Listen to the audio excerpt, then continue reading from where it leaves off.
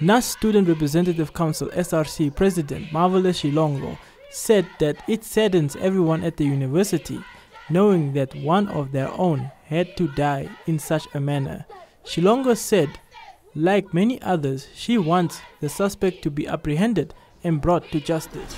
It is with sadness that a, a, student at our institution got affected by taxi violence. His name was Naeman Amakali. He was killed because of road rage, and the killer has still not been found. This initiative of the SRC was to plead with the public, the government, and everybody else that is involved in this, our stakeholders as a country and as a whole, to please just come forward if you have any sort of information that may help us captivate and keep this person for doing what they have done. What they have done is wrong, it is insincere, and we just want them to come forward.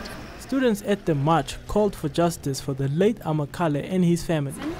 We're having this demonstration today just to show a peaceful way in how we want to protect our students. We want to make sure that in the future students aren't afraid to enter cabs, to walk anywhere. We want to we want this to be a way to show the person that did this to come out. Doing the demonstration about Naeman who was shot to show the justice of what was what happened. We want to show the justice of the person who shot the who shot Naeman so that he can be arrested. We want to show the justice of that person so that he can be arrested. And family of the late Naeman Amakali were also present at the march, but refused to comment on the march or their late son's case.